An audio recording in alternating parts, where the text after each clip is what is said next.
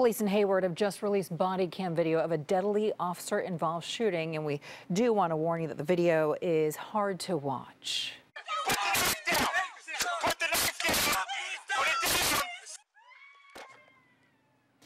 The 29 year old suspect was actually holding a razor blade as he approached officers in November. The man's relatives plan to file a lawsuit. Wilson Walker has more of the newly released video and what the police chief is now saying about it. Wilson? Yeah, it was November 15th, uh, around 9 o'clock. Uh, a man called 911. He said that a neighbor's boyfriend was threatening him with what he thought was a knife.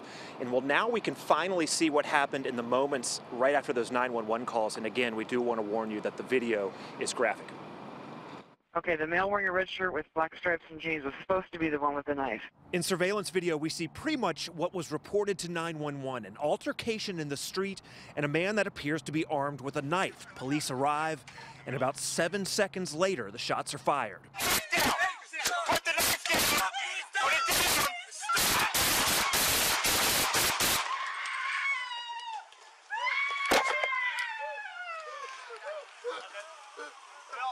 Point three two shots fired.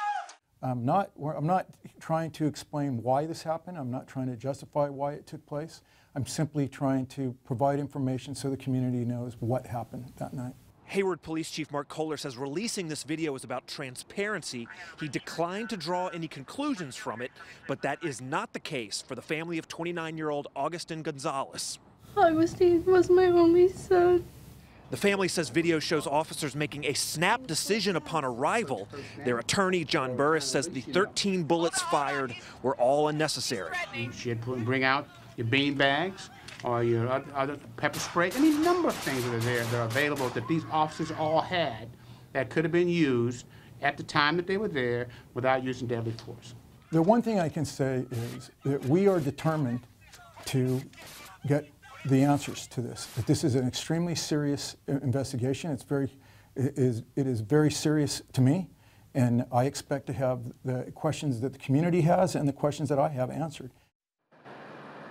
So the police department's investigation still unfolding, as is the investigation by the district attorney's office to see whether those officers acted lawfully. Now, as for the family that was here at uh, John Burris's office today, they have not officially filed suit against Hayward or the police department yet, but all indications are that lawsuit would be forthcoming.